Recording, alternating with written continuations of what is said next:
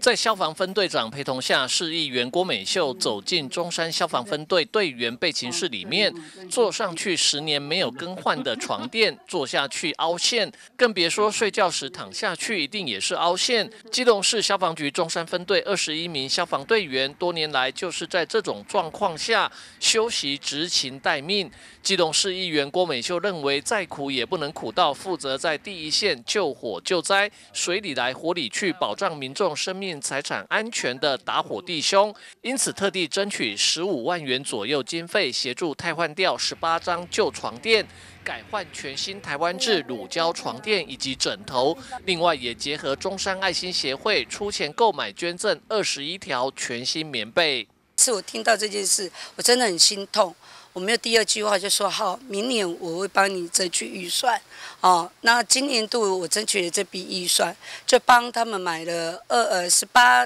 十八个十八组的那个呃乳胶床跟乳胶枕头。那另外，我们爱心协会本身包装雨浴，然后也送了二十一件的棉被，然后让我们中山区分队哦有一个很舒适，让我们的前线的英雄们能在一个很很容易入眠，然后精神保持很饱满，呃很有精神的状况下，然后为我们民众服务。对于美秀姐的爱心和贴心，让中山消防分队队员们非常感动又感谢。非常感谢郭议员美秀的协助哦，让我们可以呃在从成立中山分队以来至今哦，第一次呃可以换床铺这样子。那同仁对于有新的床铺的话，相信在他们的睡眠品质下一定是会有帮助的。那同时呢，我们的同仁在服务的服勤执勤的这个状况下，也相对会更好的。呃，那另外也谢谢中山爱心协会哦，捐赠给我们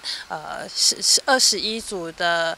呃棉被哦，那虽然现在是夏天哦，不过我相信这份温暖可以一直持续到冬天的。谢谢。郭美秀强调，要让消防队员休息时能够一觉好眠，才能够真正补充体力和精神，继续守护市民和大众。记者吴俊松机动报道。